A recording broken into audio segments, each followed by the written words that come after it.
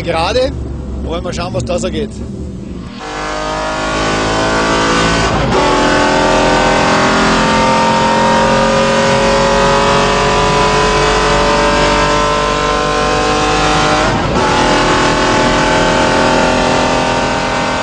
man sieht ja, bis 260 geht es ja in Nullzeit. Und dann natürlich das Auto, was ja schließlich zwei Tonnen wiegt und auch ja vom CW-Wert her kein Sportwagen ist, braucht er dann etwas länger, um die Geschwindigkeit von über 300 km zu erreichen.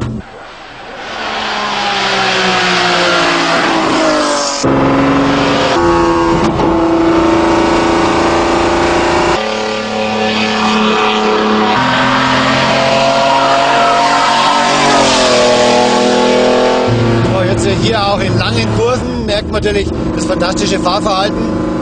Der übersteuert nicht, untersteuert nicht, in jeder Fahrlage durch, durch Allradantrieb ein stabiler Zustand.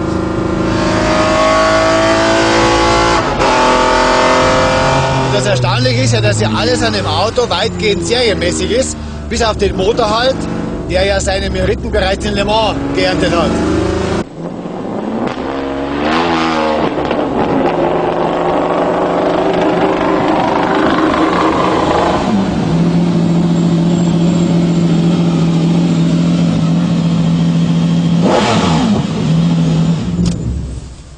Jetzt geht die Ruhe wieder ein. Ja. ja, da sehen wir jetzt das Herzstück des BMW X5 Le Mans.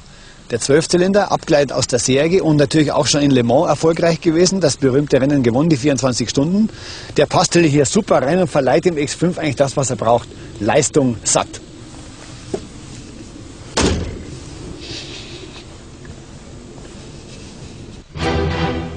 Das Fahrwerk mit 18 Zoll Rädern ist um 30 mm abgesenkt. Am Aussehen und an den Fahrwerksteilen des 700 PS starken X5 Le Mans wurde gegenüber der Serienversion nur wenig verändert.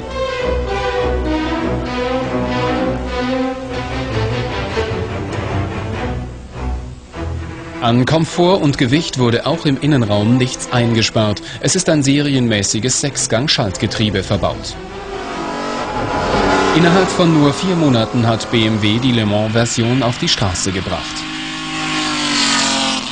eigentlich so ein Wunschtraum, den man sich mit diesem Auto erfüllt hat, was jetzt meine Person angeht und für BMW natürlich mal ein Nachweis, was mit so einem X5 alles möglich ist.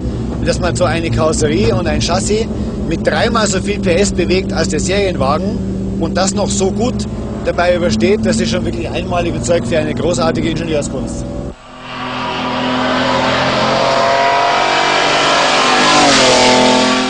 Der Striezel, da merkt man doch, dass im Autofahren immer noch jede Menge Spaß macht. Der X5 Le Mans ist übrigens unverkäuflich. Selbst ein Ölscheich, der bei BMW angefragt hat und der hat mehrere Millionen Euro geboten, bekam eine satte Abfuhr. Das war's von uns. Ich hoffe, wir sehen uns nächste Woche wieder. Bis dahin wie immer, gute Fahrt.